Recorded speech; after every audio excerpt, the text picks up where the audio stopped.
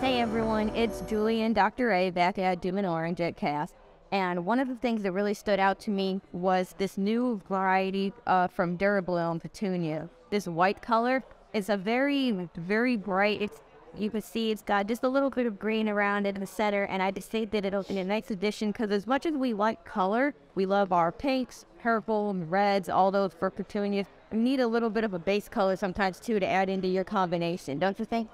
Well, the whites are always in demand, even though I'm not a white guy, they're always in demand. But the other thing, Julie, that's really exciting about this entire program, these are petunias.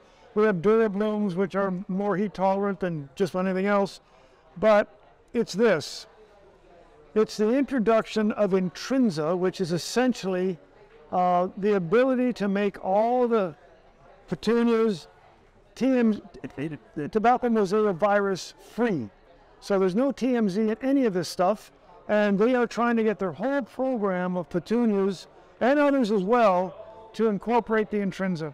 And I think that is great news for the grower, for anybody that's handling plants, for the offshore production person, to have a great plant like Petunia Plus, or as you say, the Durabloom, but a plant that's clean like this, whew, it's great.